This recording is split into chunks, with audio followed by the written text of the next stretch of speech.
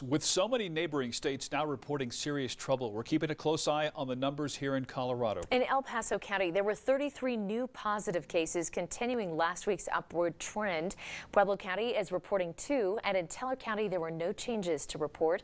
But across the state, we know of 26 new deaths due to the virus, and 204 more Coloradans have contracted it. Now, those numbers are at risk of going even higher if people don't follow COVID 19 safety guidelines this holiday weekend.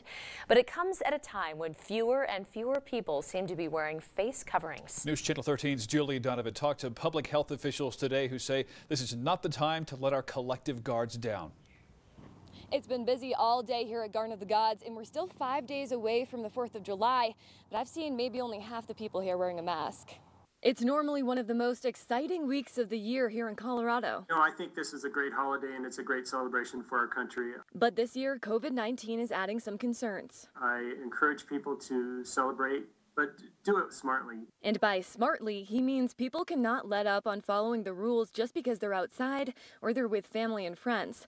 But hopes aren't necessarily high that will happen. Evett says there's worry some people won't wear a mask at all. There's uh, a lot of people who've decided that they're not going to wear a mask for whatever reason, and that, and that is concerning. While he says others just aren't taking COVID 19 seriously anymore. No, I think there's a false sense of security that, that this pandemic is over somehow or it's not going to impact Colorado because our numbers have been um, relatively minor. Public health officials want to remind everyone if you're celebrating outside, you still need to keep your social distance, and they're telling everyone not to celebrate inside.